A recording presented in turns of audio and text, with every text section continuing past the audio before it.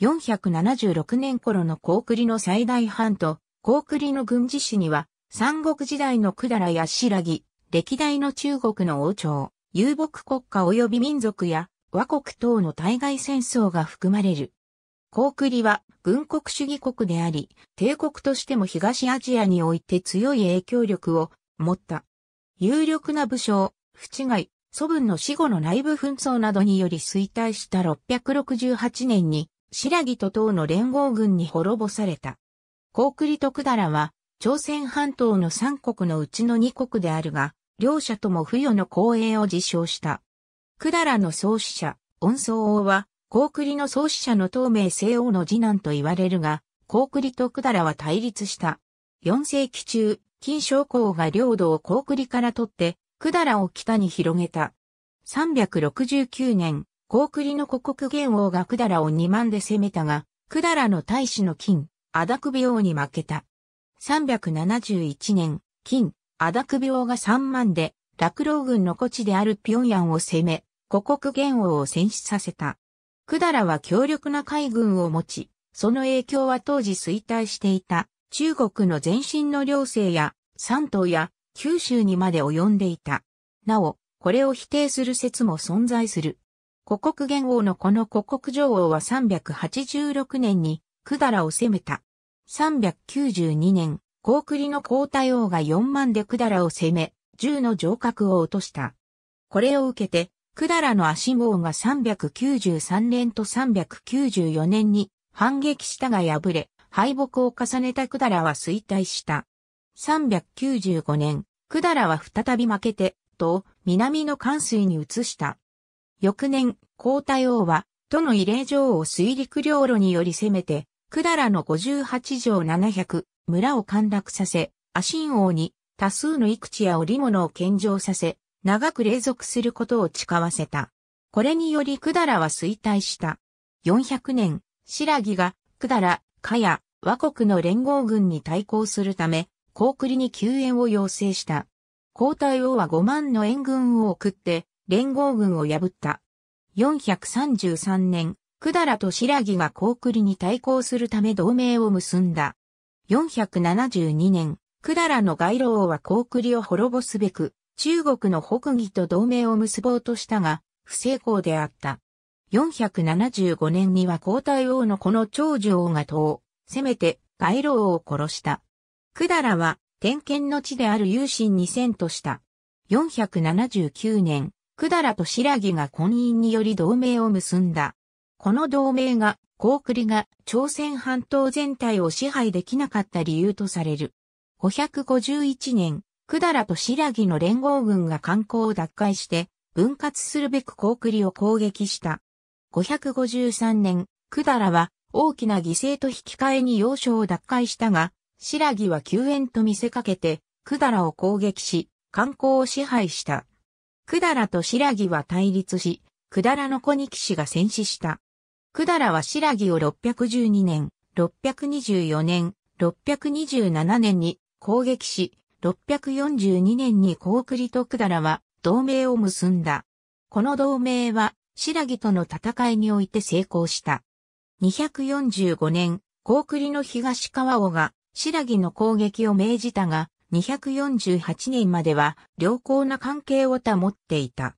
白木の王、突木マリツカンは長寿王の属国になっていたが、454年に関係を絶った。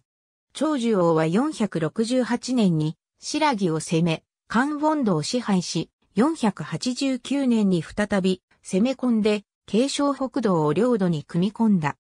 白木は553年に百済との同盟を破棄して、観光を高栗から奪ってから半島において影響力を持ち始めるが、高栗と百済は政治、軍事、経済の面から白木を圧迫した。643年、レーズミ同盟により攻撃されると、ブレツ王が唐に救援を求めて、大宋の唐の高栗出兵を呼んだ。660年、百済が高栗との同盟を捨てて、唐、白木の同盟を結んだ。唐と白木は8年間高栗を攻撃したが、淵貝祖文に勝つことができなかった。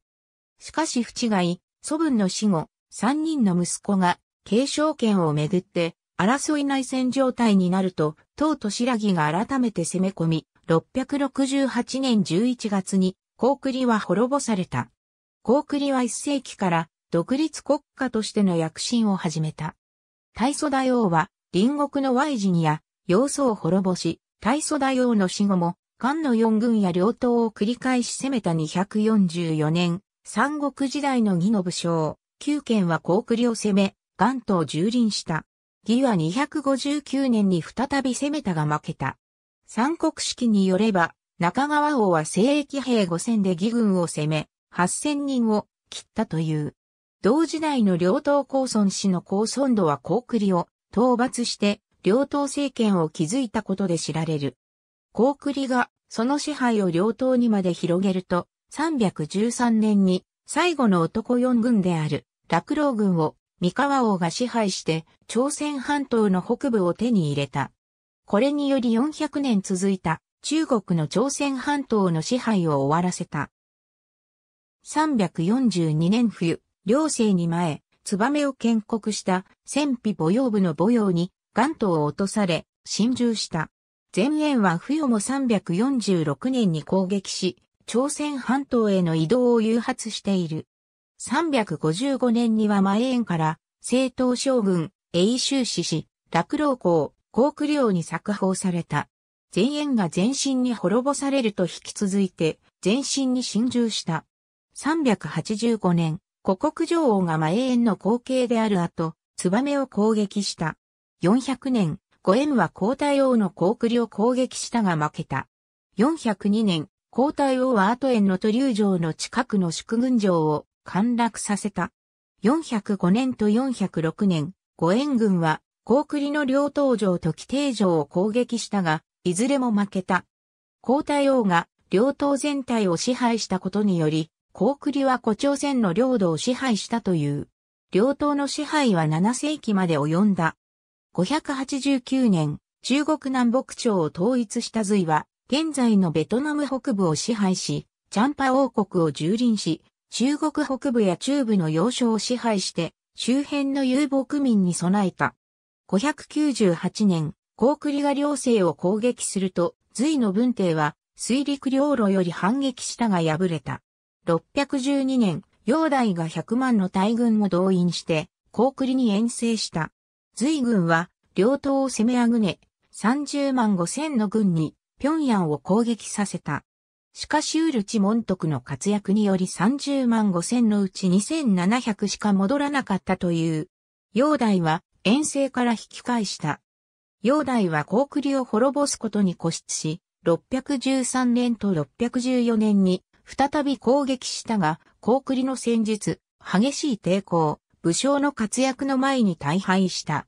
また、613年の遠征は、陽元関東の内乱や洪水等により引き返すことを余儀なくされた。陽代の激しい高栗遠征と大敗は、隋の滅亡に寄与することが大きかったという。武将の不違い祖文は、唐の高栗遠征を予期し、クーデターを起こして、宝蔵を擁立し、軍事政権によって、唐の進出に対抗した。高栗は、初戦で前線し、唐の大僧が申請した第一次進行を撃退し、百済と結んで、白木を攻めた。白木の宗主国である唐はこれを受けて、白木を全面支援し、660年には百済が滅亡、663年の白月の絵の戦いで、百済の残存勢力も一掃され、高栗は孤立した。高僧の時代になって、党が戦略を持久戦に転換すると、高栗の国力消耗は著しくなり、その上に不違い、祖文の死後この間で内紛が生じると、党、白木連合軍は、第三次侵攻を起こして、大都平壌を攻め、668年に、宝蔵王は投降。ここに高栗は滅亡した。395年、皇太王が吉丹を攻撃し対象した。398年、皇太王がツングース系狩猟民族である満州の宿神を討伐した。479年、長寿王が吉丹を攻め、血豆を従前と連合して攻めた。404年、皇太王が和国の大砲軍の攻撃を打ち破り、多大な被害を与えた。ありがとうございます。